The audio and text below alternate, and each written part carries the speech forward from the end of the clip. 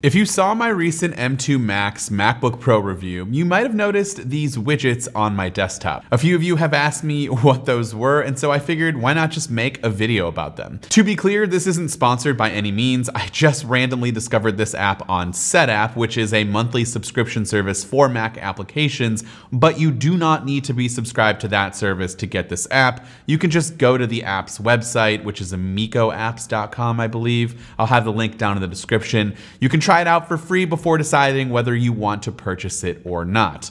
Also, if you end up liking this video, please subscribe. We're gonna have far more videos like this where I'm gonna show you some tips and tricks and apps and things that I really enjoy. And then obviously any Apple devices that are out or any Apple news we'll cover. So be sure to subscribe so you don't miss that. Now the app is called WidgetWall, which again, you can check out by going to amicoapps.com. The link will be in the description. But once you have it all downloaded and you open it up, it'll start automatically putting widgets on your desktop. It's an incredibly easy app to get up and running. So the widgets will just kind of start out on the left, but of course you can drag them whenever and wherever you'd like on your desktop. Now they do have a little bit of a snap to it, kind of, uh, you know, iOS and iPad OS-esque. They're very inspired by that. So you'll get, uh, you know, a limitation on the size. It's small, medium, and larger boxes of widgets. But once you figure out which widget you want, you can customize certain elements by clicking on the ellipsis of each box in the upper right corner. Each widget will have different settings depending on what it is, but almost all of them will have the ability to let you change the text or box color, the size, the location, and whether you wanted to pin that widget to the top of your screen, meaning that widget will be seen over any app that you might have open, even in full screen. So if you need to see something at all times, you can have it pinned to your desktop. So what are some of the widgets that you can have on your desktop? Unfortunately, there's not like a whole lot of them right now, but the ones that are available are still pretty nice and useful. You'll have your standard array of widgets like a clock widget, a weather widget, calculator, calendar, and music, but also some interesting options like ChatGPT widget, which I think is just a browser widget that's specific to ChatGPT, uh, but whatever. I mean, whenever it does let you use the service, it does work pretty well. Uh, but then you have a browser widget so you can customize and add any website to your desktop in that widget widget form for quick access. Maybe you can put macrumors.com.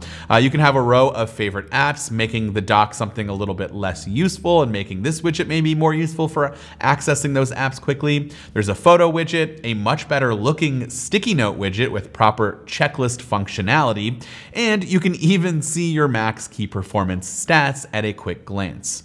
Now, personally, I'm a pretty big fan of the music widget, and I love that it works with Apple Music and Spotify, which you can toggle in the left corner of the widget. And it shows you the proper playback controls and everything that you might need, and also the album artwork, which I really do like the look of. Um, I like the calendar app too, so you kind of have that at all times. Maybe that one would be something you might want to pin on your desktop. Um, I just think this is a pretty great way to get widgets on your Mac for those who want widgets on your Mac. Now, thankfully, you can try it for free. But if you decide to purchase this directly from the developer, it is $9.99 a year, not a month, $9.99 for the whole year. So that's 83 cents a month, which I definitely did the math using the calculator widget. Um, and so it's much more reasonable if you break it down that way. Uh, and it's definitely reasonable if you plan to actually use these on a daily basis. And uh, if the developer can actually add some unique options or other popular third-party apps maybe in the future, uh, that would be really cool. But for those of you who have a Setapp subscription, again, you can rejoice. This app is available with your subscription. So what do you think about WidgetWall? Are you going to give it a shot? Let me know in the comments down below. This has been Dan with MacRumors. Thanks so much for watching, and I hope to see you around in the next video.